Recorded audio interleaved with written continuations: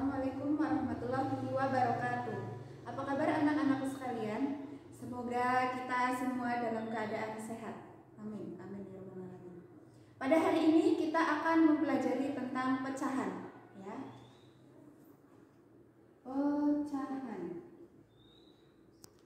Nah, sebelum kita mempelajari lebih lanjut, kita harus tahu terlebih dahulu apa itu pecahan. Pecahan adalah bilangan yang terdiri dari pembilang dan penyebut. Pecahan. Jadi e, untuk lebih jelasnya kita langsung ke contohnya. Contoh saya mempunyai bilangan pecahan 1 per 4. Nah, di sini pecahan itu terdiri dari pembilang dan penyebut. 1 merupakan pembilang. Sedangkan angka 4 menunjukkan penyebut. Nah, perbedaan dari pembilang dan penyebut. Kalau pembilang yaitu angka yang dibagi Sedangkan penyebut adalah angka yang membagi. Setelah kita mengetahui apa itu pecahan, mari kita bersama-sama mengetahui jenis-jenis pecahan. Jenis-jenis pecahan itu ada empat. Yang pertama adalah pecahan biasa, yang kedua pecahan campuran, yang ketiga adalah pecahan desimal, dan yang keempat adalah pecahan persen. Untuk hari ini kita akan mempelajari dua jenis pecahan terlebih dahulu, yaitu pecahan biasa dan pecahan campuran. Mari kita pelajari pecahan biasa terlebih dahulu. Pecah. Pecahan biasa adalah bilangan pecahan yang hanya terdiri dari pembilang dan penyebut.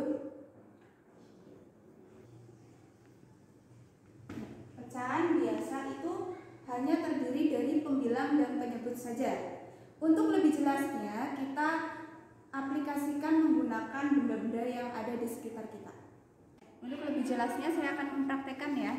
Saya memegang satu lembar kertas lipat. Nah, kertas lipat berwarna biru. Saya akan memotong menjadi dua bagian sama sel. Jadinya seperti ini. Dan kemudian saya juga akan memotong kertas berwarna merah. Kertas warna merah ini saya potong menjadi empat bagian yang sama besar juga.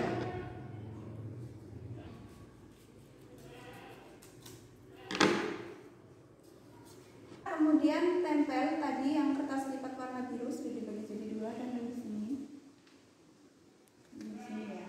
Nah, dari sini terlihat bahwa kertas lipat yang tadinya utuh satu lembar kita gunting jadi dua menjadi dua bagian. Nah, setiap satu potong ini itu kita akan cari berapa sih besar bagian pecahannya. Nah, kita ambil satu potong saja. Satu potong ini saya tulis berarti satu, satu per. Karena tadi satu lembar kertas dibagi dua berarti jadi satu per dua berarti satu potong kertas ini merupakan satu per dua bagian untuk lebih jelasnya saya kasih contoh yang kertas dibagi menjadi empat ya kan kita pasang kertas yang sudah dibagi empat tadi ya di sini nah keempat kertas ini ketika digabung akan membentuk satu lembar kertas lipat nah tetapi saya di sini hanya mau mengambil satu bagian kertas saja. Berapa sih satu bagian ini besar bilangan pecahannya? Nah, mari kita hitung. Di sini saya mau mengambil satu, berarti saya tulis pembilangnya satu, karena saya mengambilnya satu. Nah, untuk penyebutnya, saya di sini karena tadi membagi menjadi empat bagian, jadi penyebutnya adalah empat. Karena tadi dibagi empat ya, berarti setiap satu potong kertas lipat warna merah ini besarnya adalah seperempat bagian. Setengah seperempat merupakan bilangan pecahan biasa karena di sini hanya terdiri dari penyebut dan pembilang. Setelah kita mempelajari pecahan biasa, selanjutnya kita akan mempelajari pecahan campuran. Pecahan campuran adalah bilangan yang terdiri dari bilangan asli dan pecahan. Bilangan asli itu apa ya? Bilangan asli itu adalah bilangan yang dimulai dari angka 1 dan seterusnya. 1, 2, 3, 4, 5 dan seterusnya itu merupakan bilangan asli. Nah untuk lebih jelasnya mari kita praktekkan dengan benda-benda yang ada di sekitar kita. Seperti tadi ya saya akan memotong dua bagian dari satu lembar kertas lipat. Nah akan jadi seperti ini. Dua ya kemudian saya mau mengambil satu kertas lipat satu lembar utuh yang warnanya sama. Tadi kita sudah mempelajari tentang pecahan biasa. Di pecahan biasa eh, tadi kita sudah pelajari kertas ini tadinya utuh dipotong jadi dua. Setiap satu potongnya merupakan setengah bagian. Nah, kita akan tempelkan salah satu saja. Setengah bagiannya kita tempelkan di sini. Kita akan mencari berapa sih besar kertas ini jika kita tuliskan ke dalam bentuk pecahan campuran. Di sini ada satu kertas lipat utuh, berarti kita tulis satu karena utuh.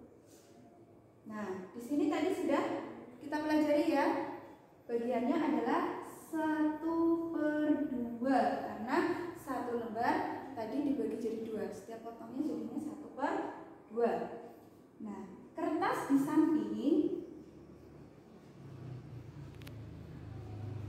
Kertas di samping besarnya adalah di sini angka satu kita tulis satu. Nah ditambah ini kan pakainya seharusnya tambah satu tambah setengah. Jadi satu per dua bagian untuk pelajaran hari ini tentang pecahan biasa dan pecahan campuran sampai di sini dulu. Semoga kita semua bisa memahaminya. Terima kasih. Wassalamualaikum warahmatullahi wabarakatuh.